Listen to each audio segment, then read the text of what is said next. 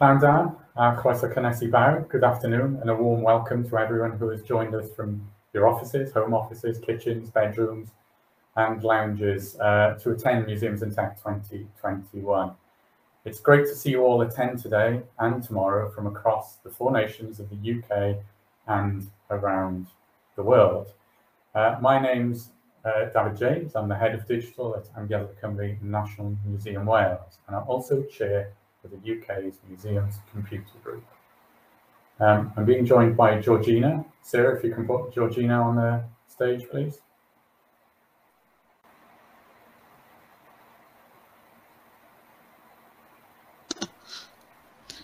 Great.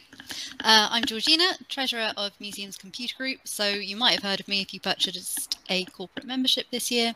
I'm also a content strategist at One Further, who we'll be hearing more of in the opening keynote. The Museums Computer Group is a non-profit association of individuals who share a common interest in supporting best practice in the use of technology within the museum and heritage sector.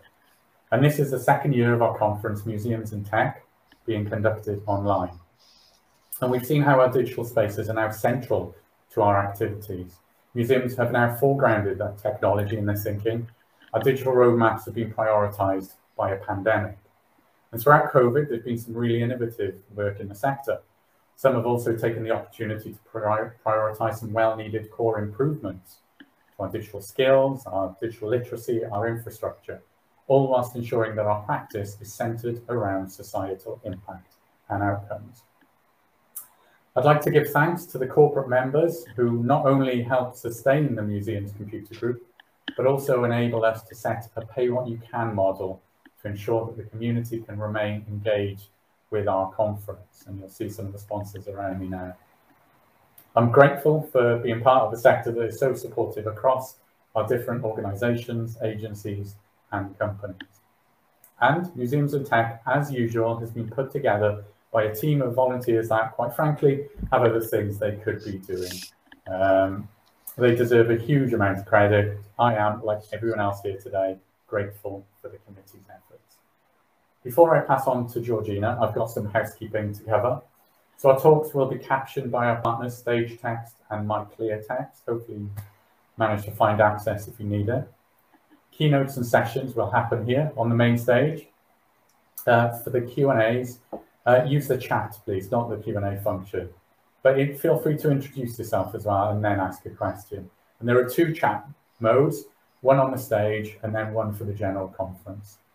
The hashtag is MuseTech2021, and our Twitter handle is at UKMCG. So make sure you positively engage with peers and friends to share and discuss. And we want to encourage robust conversation, uh, but this is a safe space, so use your judgment. Please see our code of conduct. We'll post that in the chat.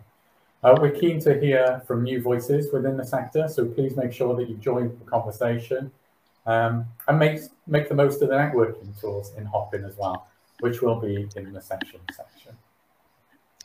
Brilliant, thanks Steph. So this year we've structured the theme of the conference around data.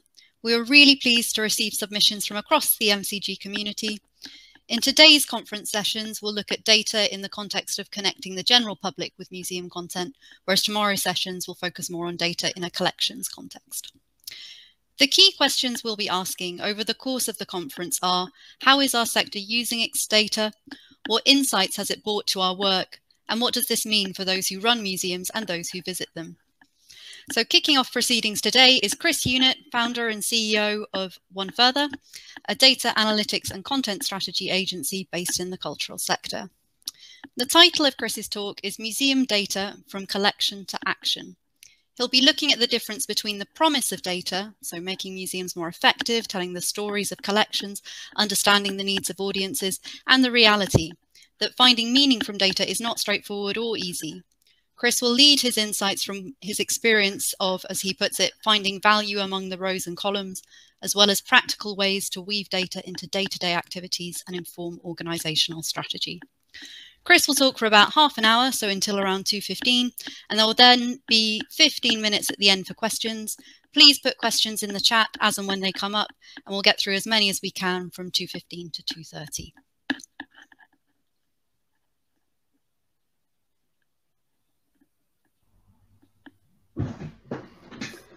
Hi there, everybody. Uh, thanks very much for that introduction, Georgina, and thanks very much for having me today. It's um, uh, really quite the honour to be asked to go up first and talk to you about uh, all of this, and set some of the, set the stage for what you're going to be listening to um, and seeing over the next couple of days.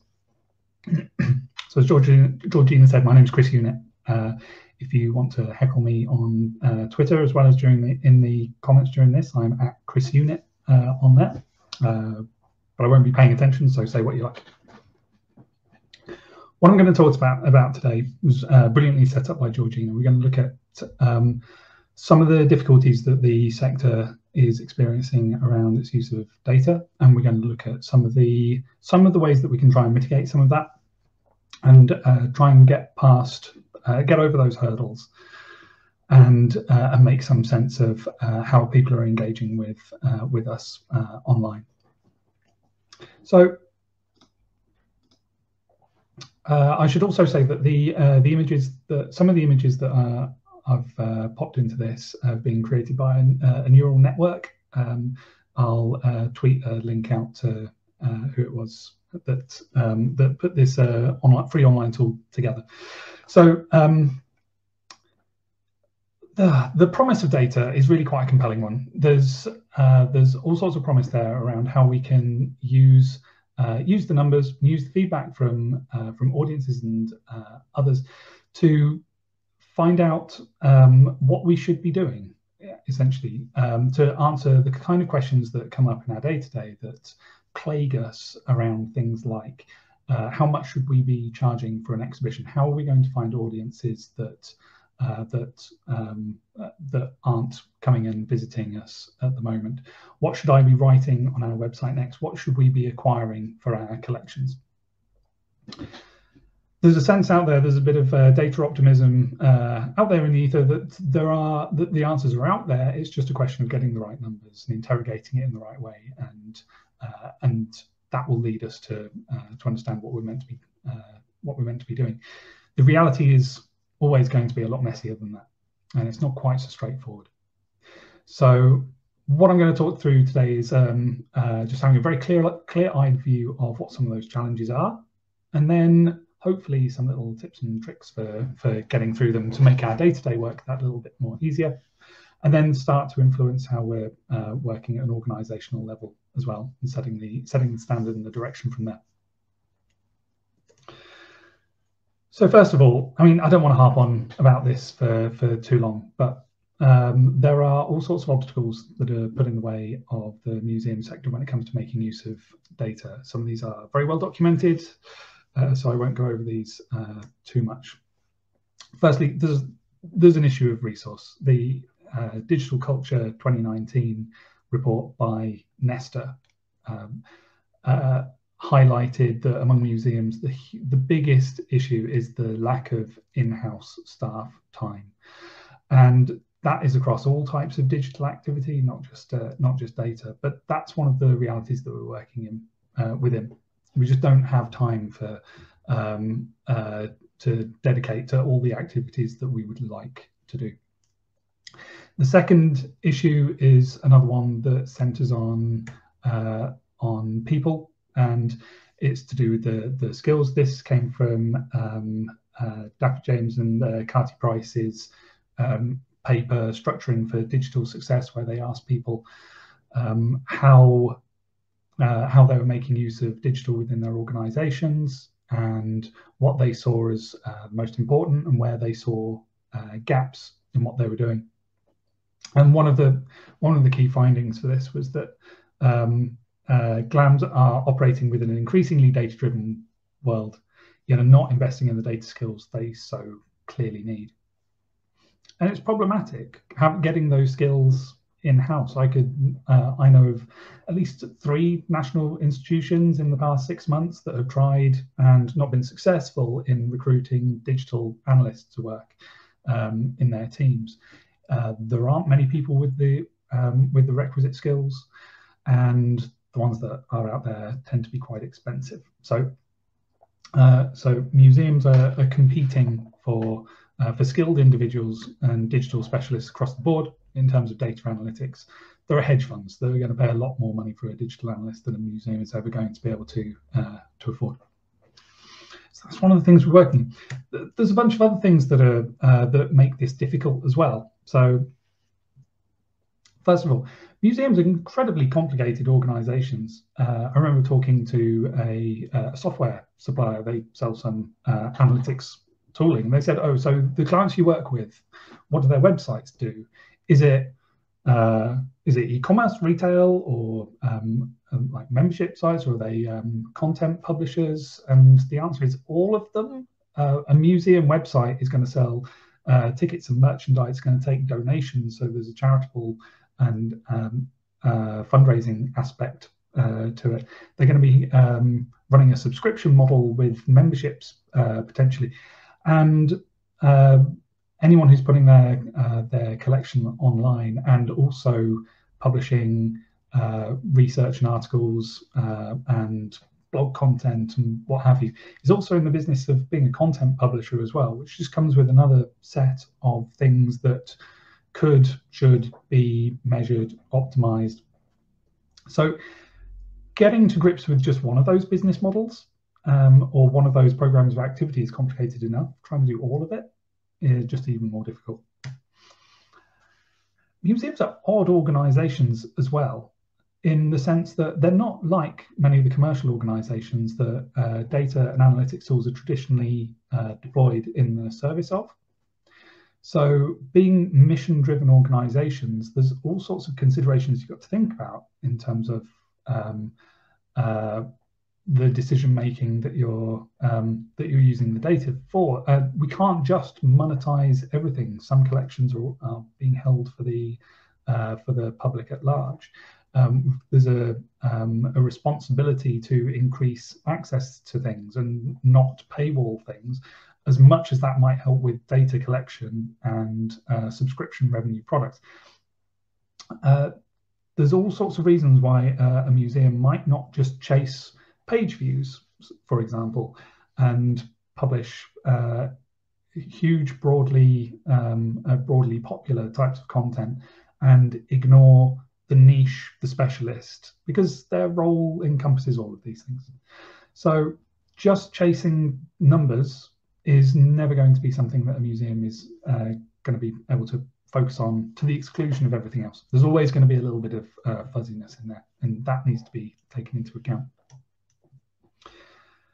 it is true that some of the tools are complicated and there's a learning curve to using something like, I mean, pick uh, Google Tag Manager, for example, um, uh, or Google Analytics, which I'm sure most people, uh, most museums are, are, going to be using at this point.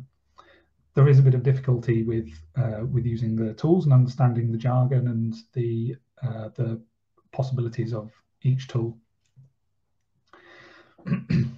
And something that I'll come on to in a, um, a little bit later as well is it's not enough just to be able to see that uh, a certain page on your website gets a certain amount of traffic. Um, uh, you need to understand the whys and wherefores of things and understand that, okay, so a page on our website might have got 100,000 page views in the past uh, week, but understanding how that fits into the wider ecology of a museum and what that's valuable for requires an understanding of uh, the museum as, uh, as an organization itself. It's quite difficult to jump into the museum sector and just understand everything from the get-go, understand the possibilities, what's um, what what's what's normal. And so being able to have that depth of understanding that you can uh, that sits beneath any analysis you're doing is is necessary as well. And the other thing is, um, so I'm not in all cases uh, uh, a complete evangelist for uh, data and evaluation. There are cases, uh, especially when resource is lacking, that you just need to get on and do stuff. And execution, even if it's probably not in the right uh, uh, the right direction, you need to get on and do something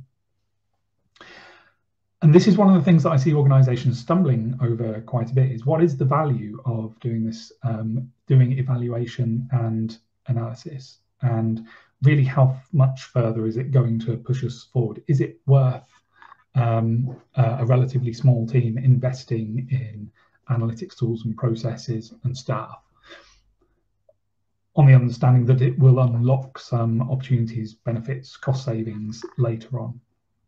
That's a really hard, uh, really hard thing to understand.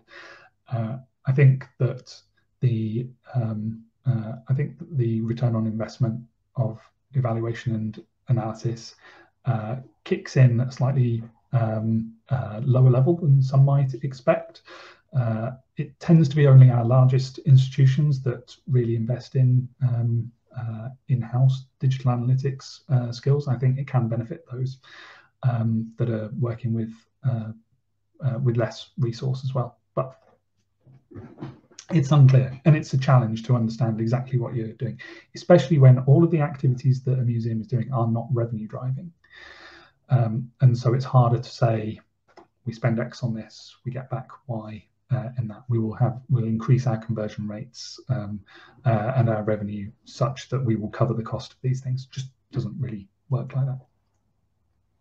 So it's complicated. It's really difficult, and um, uh, but I don't think it's worth being despondent about this particularly. There are things that we can do to improve the day to day and to help inform uh, organizational activity and strategy more broadly.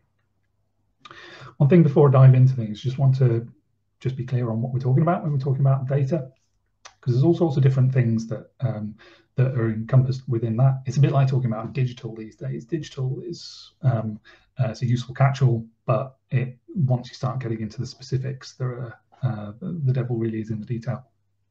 So in terms of the data, the I mean, this conference has been set up uh, quite nicely so that uh, on the first day, we're mostly talking about data that tells you what's happening in terms of uh, user engagement, user experience, and the impact that your activities have uh, is having.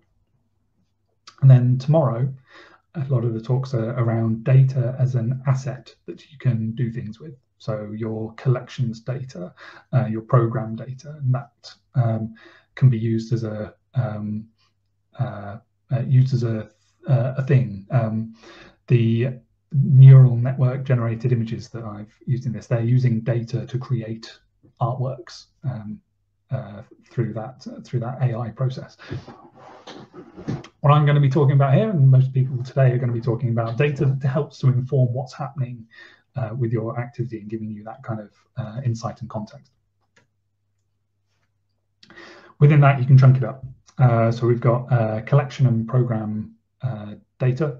So um, the collection data is mostly going to be uh, the information about the uh, objects and collections that you uh, that you have, uh, but also how people are interacting with those as well.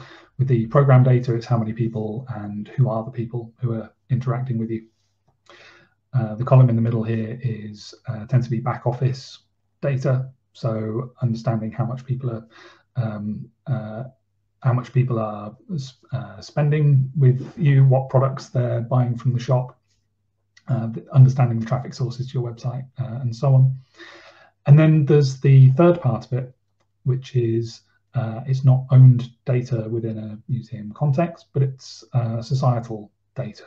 And it's the kind of thing that some people are doing some interesting research on, trying to understand what the what the activity of a museum is having on that wider societal uh, uh, data, things like well-being, health uh, indicators, and so on.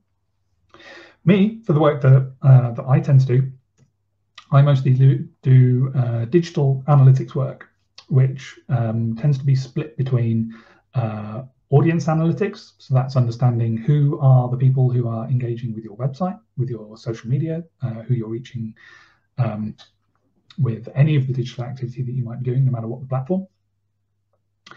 Uh, marketing analytics, which is understanding how people are coming to your website. And so that's going to be using tools like Google Analytics, but also if you're using um, uh, Facebook ads or Google ads, then understanding how to uh, how those how those are working, how campaigns can be optimized. Product analytics is understanding it, it tends to be understood as understanding uh, user behavior on a website, and so that is understanding what features are people using, what pages are they looking at, Uh, where are they hitting errors, stumbling blocks, especially within uh, any purchase pathways? And then the content analytics side of things, which is taking a publisher's view of the work that you're doing and understanding not just page views, because understanding page views is fine, but going deeper than that and understanding that for a given article, how many people, um, uh, what percentage of people tend to uh, complete that article and finish reading it, or uh, sign up to your mailing list as a result of reading that article, or are encouraged to go and click on something else and recirculate within your website. So each of these have slightly different uh, considerations involved in them. And what we're trying to find out is when we're when we're doing our analysis, uh, there's different extents to which you can do it. Now, the starting point is to uh, is what's known as descriptive analytics, and so that's understanding what happened uh, what happened in the past. Um, how many people came to your website in November, for example. The next stage of that is diagnostic analytics, and so that's understanding why. Why was it that number in November? So that's where we start to layer a little bit of uh, insight on things. In my experience, most people are reasonably good at the descriptive side of things. The diagnostic can sometimes get tricky, but that's where people really start to uh, improve their understanding of their analytics.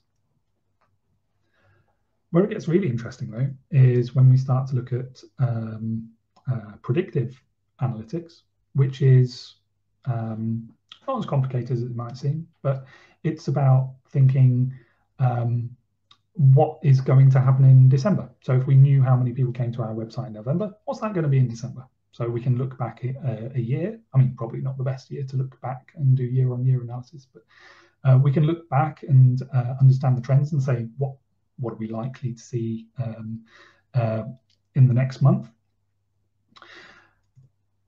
And then prescriptive analytics, that's where it gets really exciting, um, if you're into that kind of thing. And that's trying to figure out how we can influence, knowing what we know and what we've built up from our existing knowledge, what uh, what is going, um, knowing what's likely to happen, how can we then have an influence on that? You can think about this in terms in a, a pyramid. So the what happened is the descriptive analytics. You need to have a good understanding of uh, what happened because it's useful to know where you're where you're coming from.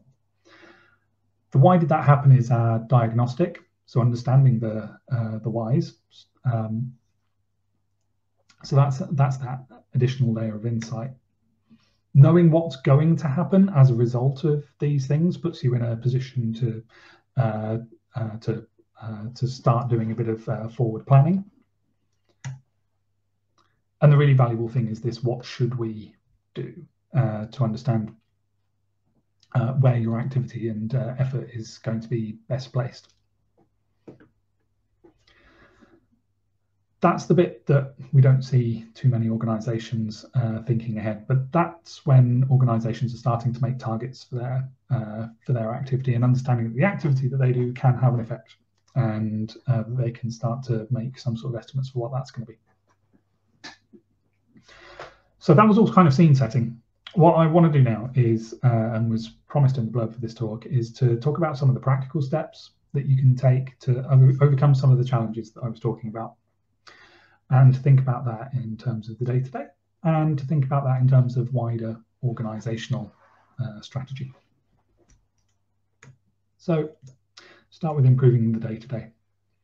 To get the bottom of your pyramid started, you need to have good foundations of data uh, one of the worst things I ever see is I go into organisations that uh, that have lost all faith in the data that they're uh, collecting.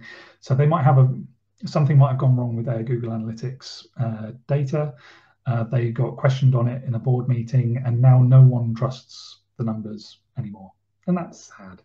So one of the things is just to make sure that you're collecting the right data and uh, and that that data is robust. Because if you haven't got that, then it's very hard to do the decision making uh, on top of it. So for this kind of thing, uh, so logo soup, I apologize for, but um, uh, using Google Tag Manager to add tags to your website.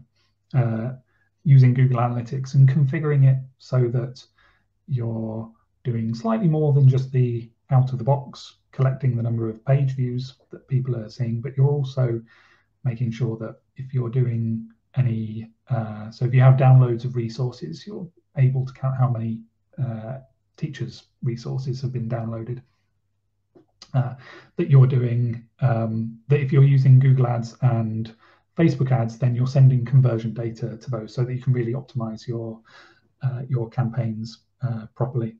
Um, the two logos on the uh, on the right hand side, or the icons, uh, one is Hotjar, which is a tool for qualitative feedback uh, for doing little pop-up surveys and heat maps on pages, which uh, should probably be a part of um, most museums' toolkit.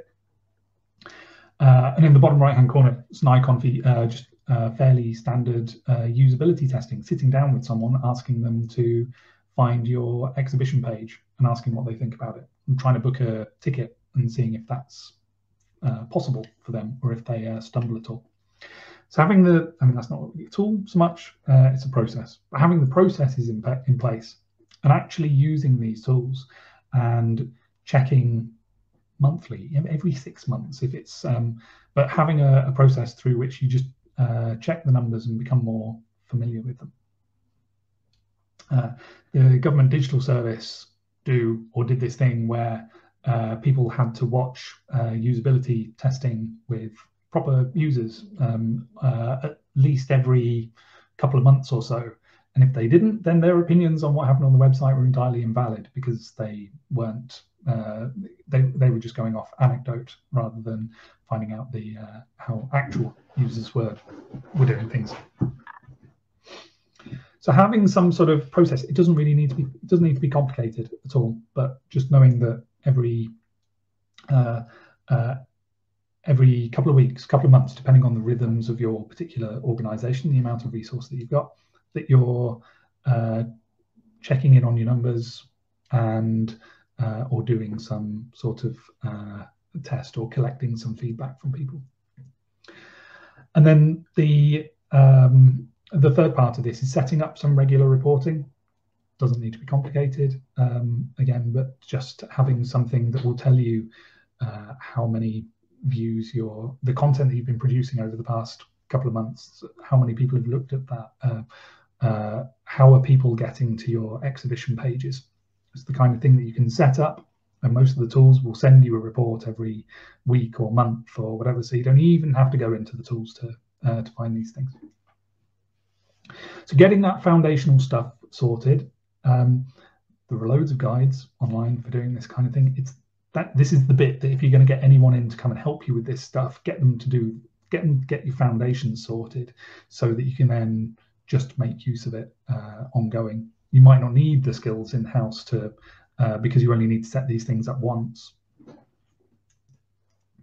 And then after that, and just really start small with things. So, like I was saying, just know your numbers. Make sure you've got that foundational thing of understanding um, how many people tend to come to your website, where they tend to come to your website from, uh, and what kind of content they tend to uh, look at.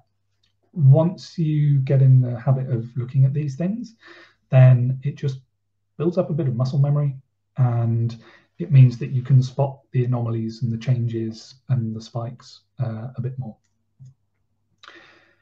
Uh, it might be worth getting some training. Uh, you can either pay for that or um, you can go to uh, organizations that provide that kind of training. The Arts Marketing Association do uh, provide a lot of uh, uh, a lot of quite specific training around this kind of thing if you're a member of them.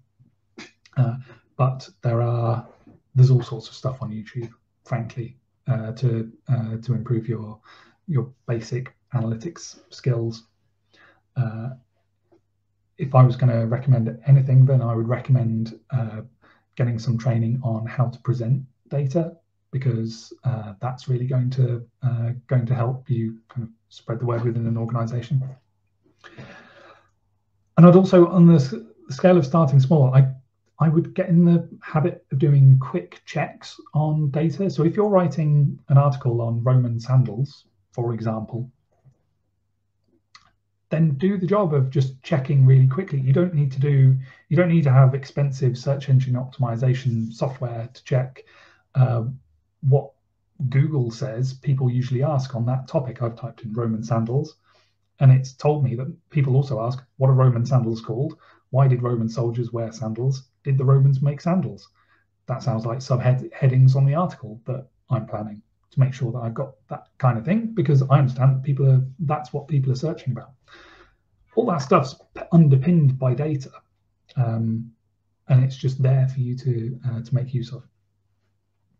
So there are other areas where you might want to do these little verifications, little uh, little checks to find out um, how you can just make small incremental improvements to the stuff that you're already doing on top of that, it's really useful to have other people to talk about this kind of thing. I mean, congratulations, you are you've come to a museum computer group uh, event. There is um, uh, there's a great uh, email list where people are constantly asking uh, questions uh, and helping each other out. one of the things I love about working with mu the museum sector is that it is so sharing and collaborative. So um, get involved in that. There are people out there who will help. The Museum Computer Network over in the States has a special interest group for data and insight. So if this is becoming an increasingly large part of your job, then uh, that's um, uh, that's something else that you could join. But also look outside of the sector as well. So uh, DataKind have a UK chapter, and it's aimed at non-profit organisations who are wanting to work with their data. Um, and do data science and all that kind of thing. So there are communities of interest around this kind of thing. It's worth, um, if you're doing more with this, um, engaging with those. And then the other thing that is worth doing is uh, sharing data as widely as possible, internally and externally. So internally, one of the most powerful things that I've seen organizations do is uh, the dashboards that they've created for, uh, them to use themselves, uh, printing them out every month and sticking them on the notice board uh, next to where people make coffee, just so that other people can see uh, can see that as well. It's very easy to uh, to walk into a venue and get a sense of how busy it is, and uh, and start to get a feel for that. The digital equivalent of that is tougher because you just don't see the other people that are on a website usually. So give people access to stats. It can be messy sometimes because people might draw the wrong uh, the wrong conclusions from data sometimes, and that can be a little bit annoying. But I tend to see that there's a net benefit in people being able to understand the uh, the data that relates to whatever it is they're trying to do uh, from time to time. You might take the approach of creating a dashboard specifically for someone so that they can only see the data that's useful to uh, useful to them. Um, that's the uh, that's for you to think about. But give people give people access to this stuff. I've worked with marketing teams of very large museums who haven't been allowed a Google Analytics login and who are saying that they were putting out marketing activity. They just didn't know the impact of what they were doing. It boggles the mind. Um, so, so I would encourage you to share that stuff internally. Uh, I would also strongly encourage you to share externally as well. Um, the the thing that I always tease um, website developers about who work in the cultural sector is that websites for museums, websites for theatres, and so on, they're all essentially the same. Uh, the skeleton of these things are the same. Homepage, uh, what's on section, uh, a support us section, uh, an online collection bolted into a ticket ticketing system of some kind. The how it looks, you know, everyone's got their own color schemes and logos and things, but the skeleton's all pretty much the same. Um, that's a little bit unfair, but in terms of reporting and analytics and so on, that's actually quite uh, quite useful. So I flagged up Wessex Museums here, which is kind of umbrella over uh, four museums in the Wessex area who uh, are constantly sharing information, um, uh, exhibition activity, and training budget between them all. Uh, so Um, there might be others that you can buddy up with to get to make your uh, budgets go a little bit further. I'd encourage you to do that. I think that makes uh, makes all the sense in the world.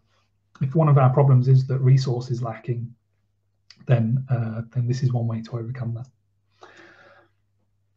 Uh, it is worth if you have got an issue within your organization this goes back to the communities thing as well but asking other people to uh, to help you out and when you see other people asking and if you can provide an answer being generous with that uh, as i was saying before i think this sector is strongly dis uh, disposed towards doing that anyway um, but this was uh, culture 24's let's get real project this uh, this year which was a cohort of 40 something organizations. Um, someone wanted to know um, how many downloads of learning resources they should expect to get from their website. They just didn't have the context um, uh, that others might have. So asked, and plenty of people were happy to give that information. So uh, getting that external context um, is a very valuable thing to do. And the other thing that I would encourage people to do is I mean, I'm sure you get bombarded with requests to do sector surveys, but I would do them. It is really valuable to be able to uh, to articulate to the rest of the sector uh, what's going on in a certain area. So the recent uh, DASH survey that the National Lottery Heritage Fund, uh, Fund uh, put out, um, things like that. Uh, one further, um, we've got a program that we're um, we're starting in the new year, which is about us being more generous and sharing more of what we do, uh, which is called Measuring the Museum. And part of that is a state of cultural content survey, which I'm sure you will be badged about very soon. I would encourage you to fill it out when it comes around. But giving yourselves this kind of context so that you're not just looking at your own numbers, but you're, you're able to look at the, uh, the uh, where you sit in the wider context as well. Super useful. Um, it is possible to do benchmarking uh, across other organizations. This is something that we do at One Further for, uh, for some of our clients, but um, just sharing data with others so that you can understand how your, uh, in this case, your mix of different channels measures up with others. And uh, these graphs showing what's the what's the balance of paid versus organic social traffic, um, understanding that your underspending compared to what others might be doing could be uh, could be valuable. Ooh. And then, so there's there's all sorts of things that can contribute to the day to day, but understanding how this can fit into a sort of wider organizational context. It's about being strategic, um, which sounds a bit trite, I know, but uh, being strategic with your activity, um, first of all, involves understanding where you're starting from and uh, understanding your current position. So that is um, uh, the resources that you've got at your disposal, the subject matter areas that you're working in, um, the uh, understanding the skills within your organization, having a good idea of that. What we're trying to get to is the place where we can start to answer these what should we do questions. Where are the opportunities that we're not taking advantage of already? You can't really do it without understanding the bits lower down on this uh, this pyramid. So you do need to have an understanding of what you're doing and uh, and the whys. But you also need to break out of that um, as well to see these opportunities. So what you're looking for is opportunities to maximize whatever the strengths you've uh, identified. Hello, Lana. Ah, this is my daughter who would like to share a chocolate that she has found. Can you? Uh, can I come and uh, see that in a minute? Thank you. So the first thing is understanding what your what strengths you've got that you can uh, you can really build on it's about understanding uh, where your weaknesses are. So, for example, one of the weaknesses I've got is the lock on my office door. Um, understanding what you can do to uh, to min minimize those and get over them. What you're then looking to do is, so if you're working day to day, you're probably looking to optimize individual activities in a fairly piecemeal kind of way. But from a strategic point of view, you need to be understanding how things chain together end to end. So it's not just about putting on uh, uh, an online, uh, doing a piece of uh, content online, like a new kind of experience.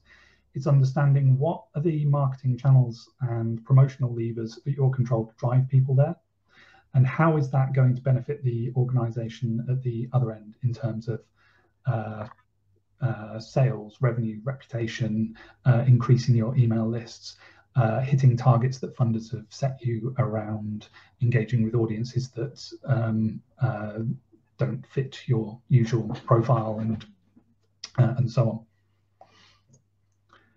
And it's also about doing things that will create bigger bigger opportunities. It is quite hard to do this just using the data that you've got within um, uh, uh, within your own museums, and you do need to pick your head up and, and look at elsewhere for that context. So if one of our challenges is that um, we're lacking resource, then uh, finding funding and support has got to be one of the things that we're looking for to try and mitigate that. So, uh, so recently, the Arts Council, their um, capital investment uh, round, has announced that um, they will fund digital infrastructure to improve business performance, including data collection, collection and analysis. So it's not often that these kinds of opportunities uh, come along, so it's um, grabbing them uh, when you can. If one of the problems is that staff attraction and retention is a problem, uh, then, I mean, don't go to this extent. I don't think I'd want to work somewhere where everyone was uh, jumping around um, all day, every day. But um, uh, making your workplace somewhere that people can uh, grow, grasp opportunities, and uh, develop themselves, and that they are um, rewarded in terms of if it can't be pay, if it can be recognition or uh, or what have you. Uh, but um, but making it um, uh, making our workplaces um, uh, better for uh, for people so that um, the problems that we've got around uh, staff skills retention resource aren't uh, aren't made any worse at least.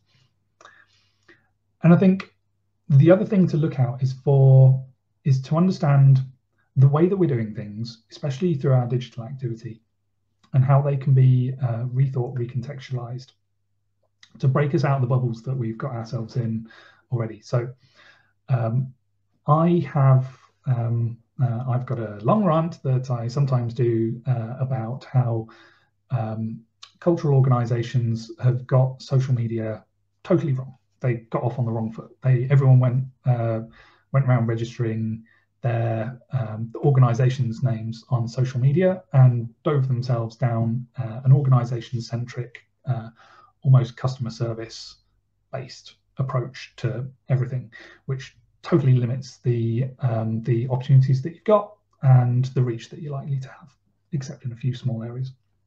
I can do a longer version of this.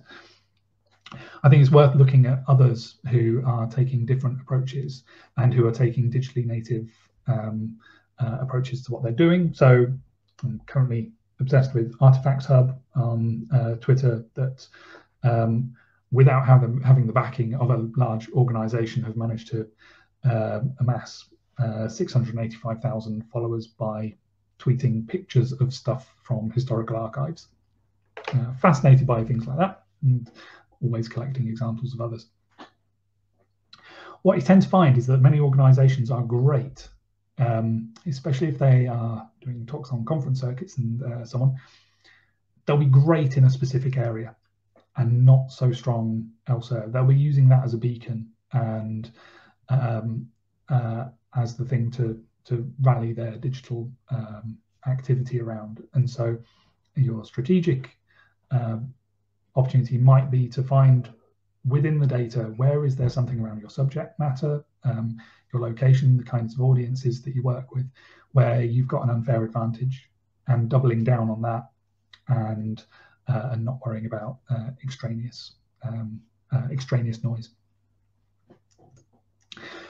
So I need to wrap things wrap things up. I hope this has been a useful grab bag of suggestions, and I'm looking forward to seeing what the what kind of comments and questions you might have. But I think my my getaways would be make sure you've got your foundations of your data um, sorted so that you are working from a reliable uh, starting point and that you haven't got uh, you haven't got people casting doubt on the data that you've got and that you're collecting useful data from people. Uh, it doesn't take much to, to, to make a start with uh, incorporating analysis into your uh, into your work. So do just think about starting uh, starting small. And thirdly, just do what the sector's predisposed to doing and uh, and share generously with others where you can. So um, uh, so fill out the surveys, ask other people for their numbers, uh, give give other people uh, the numbers that you're working with as well. And as a sector, we can get stronger about how we're uh, how we're working with our data. So thank you for allowing me to kick off the day. Uh, I'm at Chris Unitt pretty much everywhere on the internet. Um, uh, and onefurther.com is where you can find the work that uh, the work that I do. Um, and I'm looking forward to seeing the rest of the talks and seeing what kind of comments and questions you might have. Hi, Georgina. You're on mute. Thank you. So we do have some questions that have come through, but do carry on adding them, um, everyone, if you have more. So the first one um, came in from Mike Ellis, one of our lovely corporate members, um, who's asking, wondering if Chris could quickly talk to the ethical implications of gathering stats, particularly using Google. Should museums be moving their, um, I think he means, away towards tools that are less evil tracky? Um, I think that's something that an organisation needs to make on a, a case by case basis. Um, I mean, we're in a situation now. There is very little you can do with uh, like stepping a foot outside your front door without causing some harm to the world. So, uh, in terms of the uh, the data that you're collecting, I mean, there's certainly a responsibility to act uh, ethically with the personal data that you're collecting from people. Uh, whether you want to uh, to give money to uh, to Facebook, Google, and so on through their advertising tools, um, I think that's where the broader question is. Personally, uh, if you're using an analytics tool like Google Analytics, you're costing Google mon money. So I'm broadly on the side of uh, costing them as much money as you like. Um, uh, yeah. The, the, with most of these, I think I'm not going to give you a um, uh, uh, a hard and fast answer on whether you should be using those things. It is worth knowing that for pretty much every tool that uh, Google and so on have created, there is an open source alternative, usually of poorer quality. Um, so if you're uh, if you are looking for that, then there are there are substitutes out there, except when it comes to advertising. answer. Then we've got one in from Sophia who's asked how do cookies affect data tracking and what data can we still have access to and use when complying with GDPR? Uh, so that's a good question. So cookies um, have, and the approach to cookies have, um, that has come through legislative changes through things like um, uh, PECR, GDPR, and other regulations, um, means that you're having to ask people to opt in before you can uh, place identifiers on their browsers. A lot of these tools are already working with a sample of data anyway. So anyone using an ad blocker, for example, or not having JavaScript turned on on their browsers or what have you, uh, you're already not getting data uh, from those. The um, the other side of this is what the browsers, um, things like Safari and Firefox and Brave and others are doing to uh, to reduce the amount of data collection going on. Uh, the the advice that we, we're giving clients is that um, to understand that you're only ever going to be working with a sample of data anyway. Uh, anyone who's tried to report finance uh, revenue numbers from Google Analytics to people in finance functions will know that that doesn't go down very well because the numbers don't match up anyway. So understand that you're working with a sample of data. Um, you can still do plenty of comparative uh, analytics within that to understand uh, where the popular what what are the popular bits of content your, on your website, what is your marketing mix, and so on.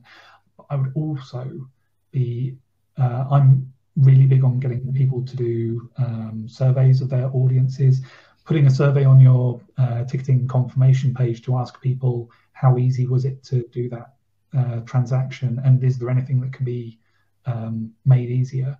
That kind of voice of customer stuff is um, it's it's really easy to make use of um, when people are telling you this stuff. Usability testing as well. Um, so yeah, it's a shame we haven't got the uh, the gospel truth on what some of our numbers are, but we never really had that in the first place. So just understand that it's a sample. Good stuff. Then one in from Rob McPherson, who's uh, who said ROI is not the best measure for most marketing or brand building. Um, campaigns, digital or otherwise. So, what other top level measures are most likely to satisfy uh, trustees for greater investment in staff resources campaigns? Um, this is, I don't think we've got time to answer the entirety of this question, but it's a good one. Thanks, Rob. Um, I think, uh, well, it's a mix of things that you're reporting on. I think um, revenue is never going to be the only thing that you're doing. Uh, a lot of uh, I joke that cultural organisations always spend more money chasing the audiences that care the least about them than the dedicated audiences who will um, uh, who will um, come to everything that they're putting on. But the so you've got to uh, you've got to understand that mix. Some things will be. Um, I think this also goes to the point that some of the evaluation that you're doing is going to be basically the um, the people that are experiencing the uh, the exhibitions or programs that you're doing are not the people paying for it, and that quite often it's uh, funders and foundations and others who are footing the bill, and they're the ones that you're reporting back to. Uh, I think that kind of that often ends up with some quite skewed priorities in uh, the kind of experiences that are um, that are that are measured and the kind of feedback that people are looking for. So, uh, so yeah, I mean that's just something to take into account as well. Um, I don't know. Maybe I need to write uh, a fully fledged article on uh, replying to Rob. Good question. Great. So there's two minutes left. Those are all the sort of I think, actual questions. There's been some interesting comments. So John Pratty commented that I'd have thought that one of ACE's most important tasks as an impartial authority is that they should collect stats to show the museum um, content data landscape. And Mike said something similar about uh, in the early days of Google Analytics, it being much easier to, um, or there was much more talk about everyone pooling their data and then that never really happening. I don't know if you've got a perspective on who is best placed or you know whether we can go back to that time when it seemed much easier to kind of pool data um, at all. Um, yeah, I mean, uh, I wouldn't necessarily want to lay yet another thing at the Arts Council's mm. door and have them responsible for doing that. I mean, the, uh, I think one of the lovely things about the museum sector is that plenty of people are willing to pitch in on a volunteer basis. Um, uh, and that goes through to people working within museums, people who are interested in them, even like, I mean, one further is just, we're one of those horrible money grabbing consultancies, but even we do stuff that's uh, that's collaborative and uh, and free to take part in. So the uh, with our um, partners Indigo and Baker Richards, we're part of this thing called the Insights Alliance that have been doing surveys around uh, audience's propensity to go back to venues and things. There's always been plenty of other people who will pitch in and uh, and do this kind of thing. Um, so I mean, it's nobody's job. Nobody's really incentivized to do it, but there are plenty of people who are interested. I've always been interested in this kind of uh, kind of thing. So I think if you're looking for someone to pick that up as a job, in the first instance, it's it's just hoping that someone will get off their backsides and do it themselves rather than waiting for a funder because they're not always uh, uh, well they've got a i'm sure they've got a to-do list as long as their arms yeah it's not really their job either yeah brilliant well that it is now half two thank you very much. And thanks everyone for your questions. Um, it's now time, you can either take a break um, or there will be a queue for coffee, which I believe is in the sessions tab. Um, and it's just text, the queue for coffee. There will, um, in subsequent uh, breakout groups, be a queue for cake, which is also um, video-based networking. Um, and then if you want to regroup around 2.45 for the user experience panel.